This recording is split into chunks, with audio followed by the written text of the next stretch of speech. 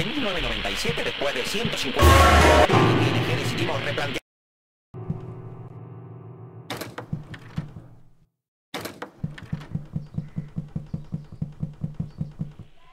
1997, después de 150 años de historia, en ING decidimos replantearnos nuestra forma de hacer banca para adaptarnos a los nuevos tiempos, reinventarnos, de desaparecer, eh, para crear un nuevo sistema moderno y eficaz que ya se entiende por todas partes y que nos ha convertido en un banco directo, grande,